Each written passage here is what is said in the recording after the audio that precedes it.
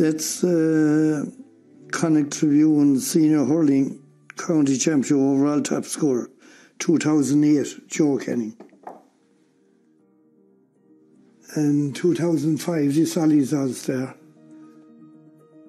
Jeez, I know what's for. I got bummed uh, when we see it. For outstanding service to GAA in County Galway, Sean Canning has been awarded this certificate given the second day of May 2009. Jeez, look at that joke, I never seen it. I got a heart attack in Dublin in 2005, and I was in a Mater hospital from Sunday to Friday.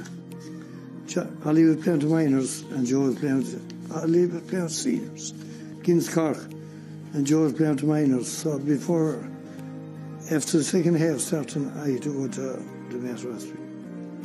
So that's what I got that for now.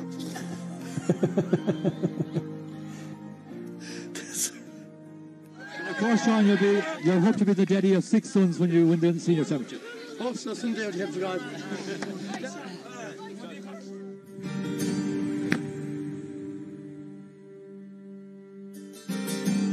To be truthful, the day he retired, I cried.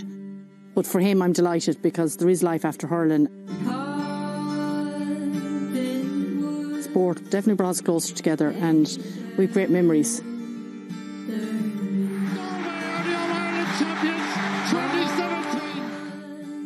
To have Jack probably playing on the minor team as well was a bit special for you know son and grandson to be playing on the one day and winning two minor or minor and senior All Ireland was a mighty day for the family. It was brilliant. We were very proud as a family, and it was mighty for him to see what he could do, and it was great for everyone in the country and I suppose around the world to see what he could do. You think back to his four or five hitting line balls up against the gable end of the house.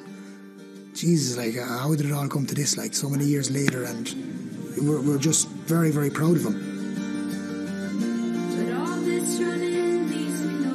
I just hope that my family are proud of what I've done. That's all. It doesn't really matter what other people think to me. At the end of the day, they're the most important people to me. If they're proud of what I've done, then that's that's all that matters.